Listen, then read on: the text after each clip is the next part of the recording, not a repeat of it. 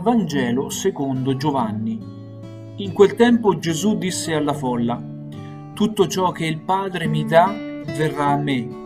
Colui che viene a me io non lo caccerò fuori, perché sono disceso dal cielo non per fare la mia volontà, ma la volontà di colui che mi ha mandato. E questa è la volontà di colui che mi ha mandato, che io non perda nulla di quanto egli mi ha dato ma che lo risusciti nell'ultimo giorno. Questa è infatti la volontà del Padre mio, che chiunque vede il Figlio e crede in Lui abbia la vita eterna, e io lo risusciterò nell'ultimo giorno.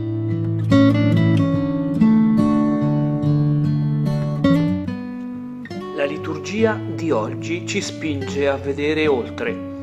Se ieri abbiamo festeggiato tutti i santi, e abbiamo riposto la nostra fiducia nel Signore, oggi ci è chiesto di avere fede in Lui anche quando saremo nel passaggio ultimo della nostra vita, cioè nel passaggio della morte. La morte non è l'ultima parola. Alla tristezza e alle lacrime di dolore è stato fissato un termine.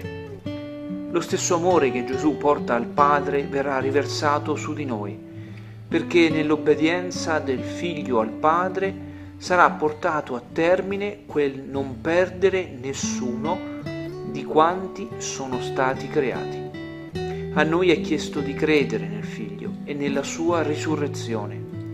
Già nell'oggi per vivere bene personalmente la volontà di Dio e per sapere che ogni nostro sforzo e ogni nostra obbedienza avrà un lieto fine e ancora di più per credere che pure i nostri cari defunti non sono persi nella polvere, ma li riavremo per sempre nella vita nuova.